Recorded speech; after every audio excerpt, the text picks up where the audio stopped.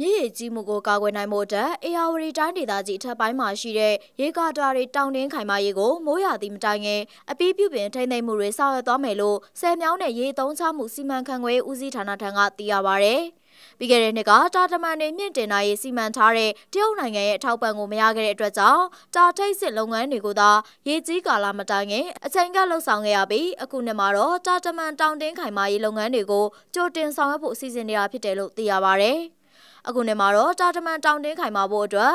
တာချေထောက်လုပ်ငန်းတွေတာထိတ်စင်လုပ်ငန်းတွေတာတောက်လုပ်ငန်းတွေတော်တော်များများအရေးကြီးတဲ့အပိုင်းအလုံးကိုဆောင်ရွက်ဖို့တိုင်းဒေသကြီးရမုံငွေပြည်ထောင်စုရမုံငွေနိုင်ငံတော်သမ္မတရဲ့တဘာဝဘေးအတွက်ရမုံငွေပြည်ထောင်စုငွေလုံးငွေရင်းတွေနဲ့ဆောင်ရွက်ဖို့အစီအစဉ်ရှိတယ်လို့ဟင်းသရခရိုင်ဆယ်မြောင်းမှလက်ထောက်ညွှန်ကြားရေးမှူးဦးတာယာကပြောပါတယ်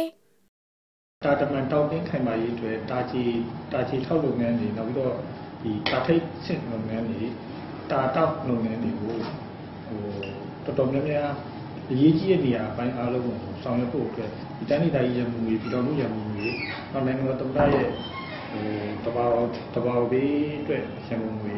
နောက်ပြီးတော့ပြည်တော်စုငွေလုံးငွေရင်းဟို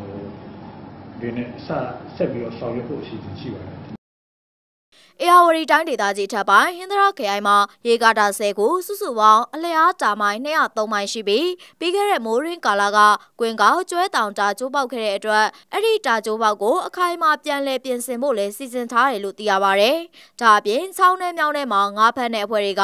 အဲ့ဒီတာဆဲတို့မြုံတို့ဘာတို့ချတဲ့အခါမှာရေစည်းရေလာနေပြီးအနေကျတာတွေဖြစ်ပြီးတပြေးပြေးချောင်းတွေကောလာတဲ့အတွက်ရေကြီးနှမြုပ်မှုတွေဖြစ်ခဲ့လို့ဒီနှစ်မှာတော့ချောင်းကောမြောင်းကောတော်တော်များများကိုတိုင်းဒေသကြီးရမုံဝင်နဲ့တူးဖော်ဆောင်ရွက်သွားမှာဖြစ်တယ်လို့နောက်ကြရင်လည်းရေစည်းရေလာပိတ်ဆို့မဲ့လုပ်ငန်းတွေကိုပြည်သူတွေကအတိတရားရှိရှိနဲ့မလုပ်ကြဖို့လိုအပ်တယ်လို့လည်းဟင်္ဒရာခရိုင်ဆယ်မြောင်းမှလက်ထောက်ညွှန်ကြားရေးမှူးဦးတာယာကပြောပါရယ်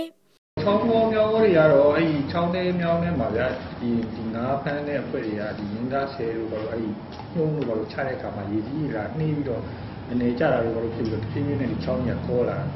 ကောလာတဲ့ခါကျတော့ ရေကြီးရေလာမကောင်းတော့ရေကြီးကမကောင်းတဲ့ခါကျတော့ဒီနေရာတွေမှာရေကြီးနှမြုပ်မှုတွေဖြစ်တယ်ဗျ